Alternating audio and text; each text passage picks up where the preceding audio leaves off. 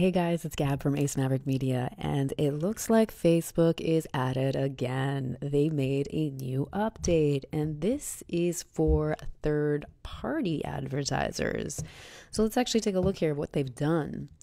So, here, if you try to actually upload a video, you'll notice here at the bottom right or in the left hand quadrant here, you'll notice that they've added a feature here regarding does this post feature a third party brand or product? If so, you must tag the associated page. See branded content policy.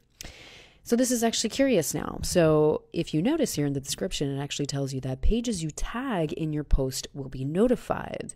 They will also be able to view your post metrics and use it to create an ad. Talk about cutting out the middleman, Facebook. So, this is interesting. So, if you're a Facebook page manager now, and you're taking ad spends from advertisers, it's curious to see how your page is going to be affected. So, not so much your page, but more so in terms of what you're actually generating in revenue.